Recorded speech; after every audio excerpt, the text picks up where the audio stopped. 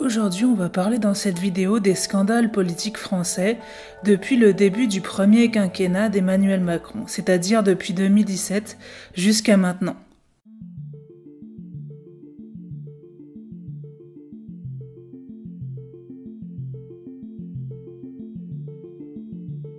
Dans cette affaire, le Modem, un parti du centre, est soupçonné d'emploi fictif d'assistant d'eurodéputés. L'histoire juridique commence le 14 mars 2017, où une députée saisit le parquet de Paris en informant des emplois fictifs de collaborateurs de 19 de ses collègues de tous bords. 15 personnes, dont François Bayrou, Michel Mercier, ex-garde des Sceaux, et les anciens eurodéputés Sylvie Goulard, Nathalie Griesbeck et Jean-Luc Benamias, sont mises en examen dans cette enquête. Cette enquête provoque la démission de Bayrou de son poste de ministre de la Justice ainsi que ceux de Sylvie Goulard au ministère de la Défense et de Marielle de Sarnez aux affaires européennes. Selon un rapport rendu en avril 2021 par les policiers de l'Office anticorruption, le Parti centriste a mis en place un système ancien et plus ou moins informel de détournement des fonds européens pour salarier ses employés. Ce rapport évalue le préjudice du Parlement européen à 1,4 million d'euros.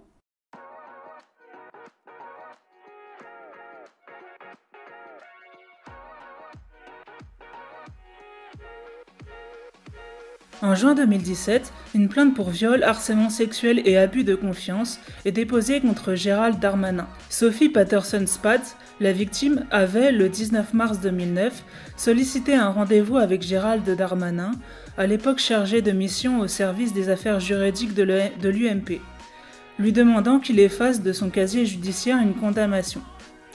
Darmanin aurait accepté en échange de faveurs très particulières ce qui fait réagir les associations de droits des femmes. Une nouvelle plainte pour abus de faiblesse en février 2018 contre Darmanin, l'enquête donnant sur un non-lieu tout comme la précédente, évoque des relations intimes en échange de l'obtention d'un logement et d'un emploi.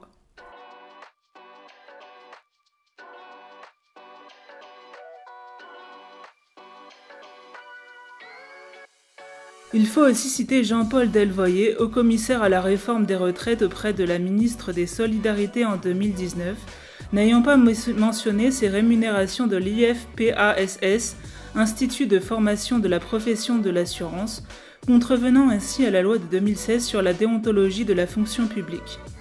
Il n'aurait pas déclaré non plus sa fonction de bénévole au sein du conseil d'administration de la fondation SNCF, celle de membres du Conseil d'orientation de l'Institut de recherche et débat sur la gouvernance, celle de président de l'Observatoire régional de la commande publique des Hauts-de-France, celle de travailleur au conseil d'administration de la Fondation d'entreprise Crédit Agricole Nord de France, sa rémunération de 6 330 euros net par mois alors qu'il travaillait au Conseil économique, social et environnemental.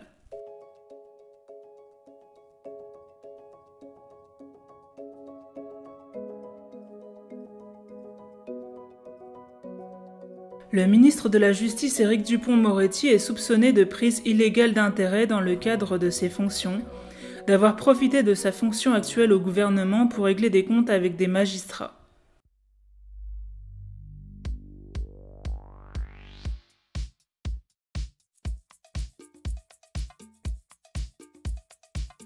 Sous le gouvernement d'Édouard Philippe, la démission surprise de la ministre des Sports Laura Flessel se cache une affaire de fraude fiscale et d'abus de biens sociaux potentiels en raison de manquements déclaratifs concernant une société dans le cadre de vérification de sa situation fiscale. La Direction générale des finances publiques a transmis son dossier à la Commission des infractions fiscales.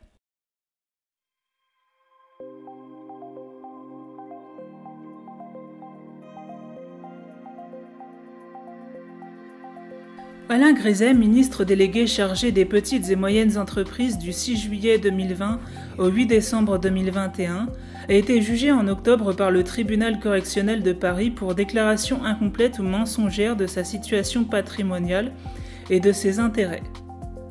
Le parquet a requis six mois de prison avec sursis, une amende de 30 000 euros et une peine d'inéligibilité de trois ans qui l'a obligé à quitter le gouvernement immédiatement.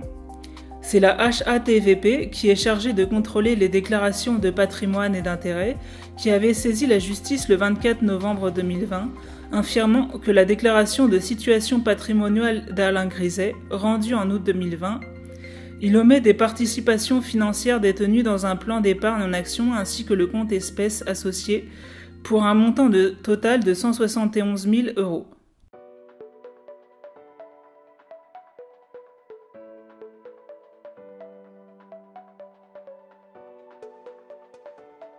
Selon le site Mediapart et certains rapports de police, Alexis Kohler, secrétaire général de l'Élysée, aurait mis à disposition des moyens financiers de l'État à la société de navigation MSC Croisière. En 2019, l'enquête sera classée sans suite à la demande de Macron.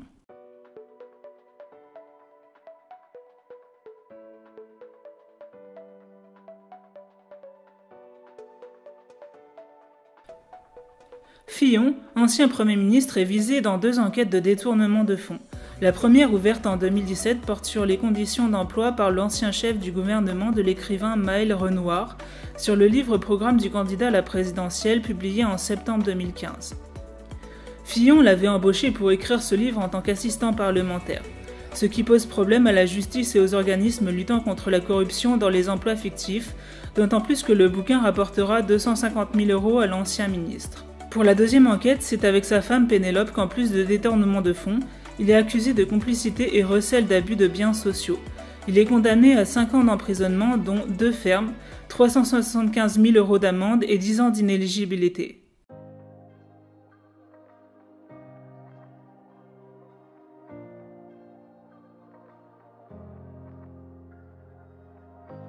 Un autre ministre est dans le collimateur de la justice en 2019, c'est Sébastien Lecornu. Des soupçons de prise illégale d'intérêt de 2016 à 2017 lorsqu'il était président de l'heure et administrateur à la Société des autoroutes Paris-Normandie pèsent sur lui. C'est le canard enchaîné suivi de Libération qui ont dévoilé l'affaire.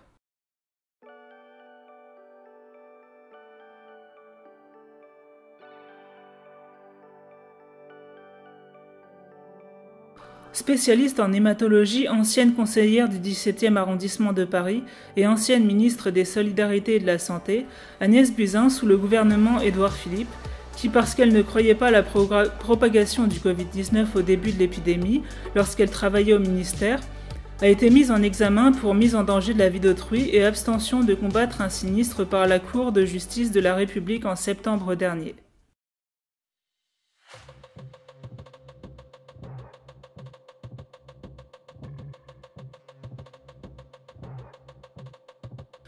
De nombreux dîners privés entre juin 2017 et septembre 2018 aux frais du contribuable et avec la participation du personnel de l'hôtel de l'ACE, résidence du président de l'Assemblée nationale, sont reprochés à l'ex-ministre de la Transition écologique et solidaire François de Rugy.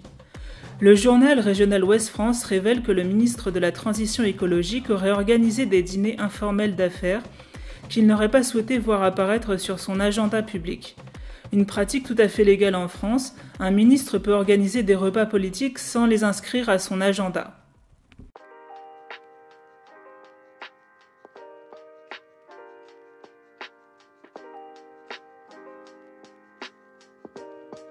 Encore une affaire dévoilée par le canard enchaîné, l'enquête sur des travaux d'agrandissement illégaux au siège parisien d'Actes Sud, une maison d'édition, effectué sous la direction de l'ex-ministre de la Culture Françoise Nissin, a été classé sans suite fin 2020. 150 mètres carrés de mezzanine avaient été construits en violation du Code de l'urbanisme sans en informer la direction de l'urbanisme de la mairie de Paris ni le fisc. Ces travaux réalisés dans un bâtiment du XVIIIe siècle, inscrit à l'inventaire des monuments historiques, auraient également dû faire l'objet d'une demande auprès des bâtiments de France et de l'architecte en chef des monuments historiques.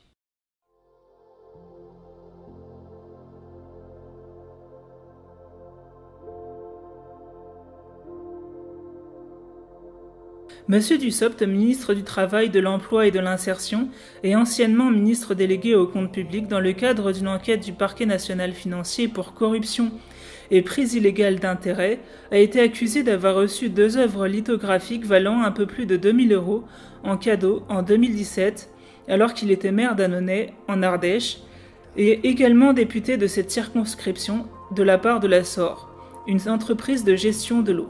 Or, il se trouve qu'un contrat était justement en train d'être négocié entre la société et la ville d'Annonay.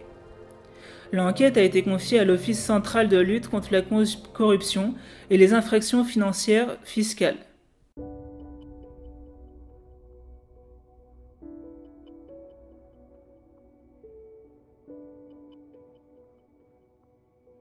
Députée pour La République en marche dans la troisième circonscription de l'Hérault, Coralie Dupost a été mise en cause pour la mauvaise gestion de ses frais de mandat, notamment plus de 3000 euros de dépenses de lingerie et vêtements payés avec ses frais censés couvrir les dépenses liées à l'exercice de son mandat. Ce qui suscitera de nombreux commentaires sexistes parmi ses détracteurs.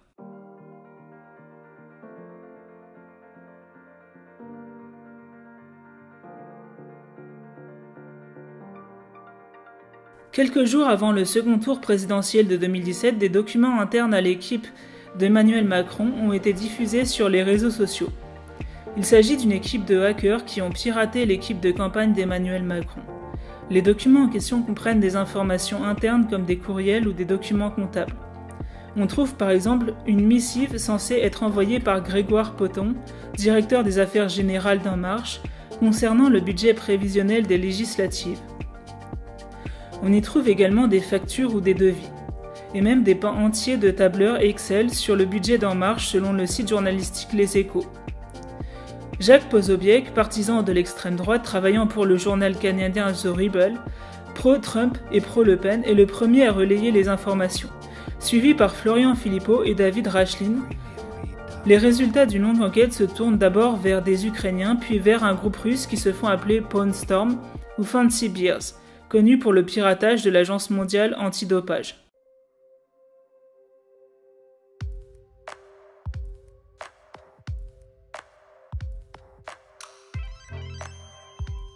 Les Pandora Papers sont des révélations qui arrivent à la suite de l'enquête sur les fuites offshore de 2013, des Swiss Leaks de 2015, des Panama Papers de 2016 et des Paradise Papers de 2017. Petit rappel, une entreprise offshore est une société enregistrée à l'étranger, dans un pays où le propriétaire n'est pas résident. Elle peut être implantée dans un paradis fiscal, ce qui permet de dissimuler la propriété de fonds et d'actifs. Dans l'histoire, 27 000 sociétés offshore sont concernées, possédées par énormément, mais vraiment énormément d'hommes politiques, de sportifs, d'acteurs, de journalistes dans le monde. En tout, plusieurs milliers de personnalités sont en lien avec les Pandora Papers, avec plus de 11 milliards de dollars détenus dans des paradis fiscaux. Chez les politiciens français, on retrouve notamment Dominique Strauss-Kahn.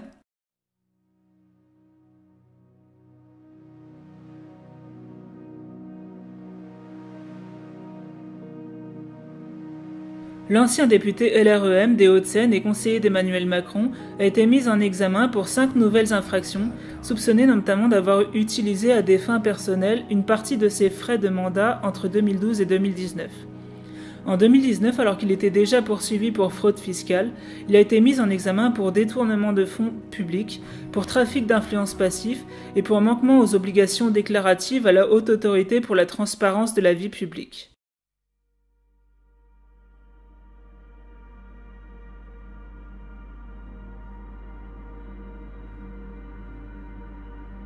Benalla était chargé de mission par le cabinet présidentiel d'Emmanuel Macron lors de son premier mandat. Il a été accusé de plusieurs faits. Lors d'un rassemblement à Paris alors que des manifestants affrontaient des CRS, il s'est fait passer pour un CRS avec brassard et casque et a frappé deux manifestants. Ce que le clan Macron dément toujours. Peu après, il y a eu d'autres révélations sur Alexandre Benalla. Il a utilisé, après avoir été renvoyé de son travail officiellement, des passeports spéciaux alors qu'il n'était plus autorisé à le faire. Ces documents sont réservés notamment aux personnes travaillant pour le président afin de voyager plus facilement dans des pays étrangers. Il a été également soupçonné d'avoir passé un contrat avec un oligarque russe alors qu'il était encore en poste à l'Élysée. Un contrat qui prévoyait d'assurer la sécurité de ce milliardaire russe.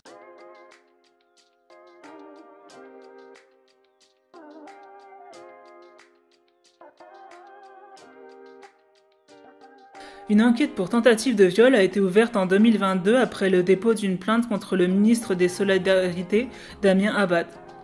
La plainte avait été déposée par une femme qui l'accuse d'avoir tenté de la violer lors d'une fête organisée chez lui à Paris au premier semestre 2010.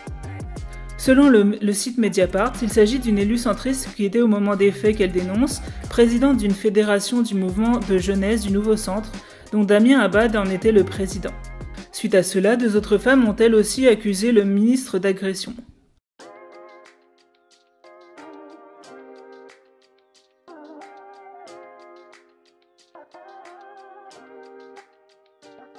Jean-Jacques Bridet, ancien député La République en marche du Val-de-Marne, fait l'objet d'une enquête préliminaire ouverte par le parquet national financier, PNF, pour des possibles faits de détournement de fonds publics. Il est suspecté, après un signalement effectué par la HATVP au printemps, d'avoir fait un usage illicite de ses indemnités représentatives de frais de mandat de député lors de son précédent mandat effectué entre 2012 et 2017.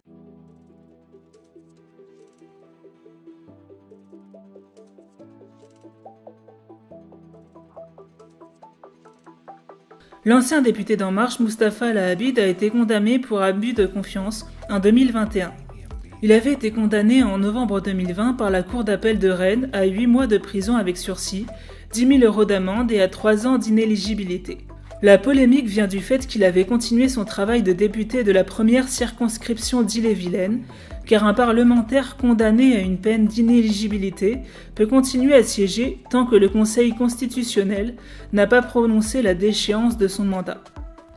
Il a été reconnu coupable d'avoir utilisé 21 545 euros de fonds d'une association à des fins personnelles.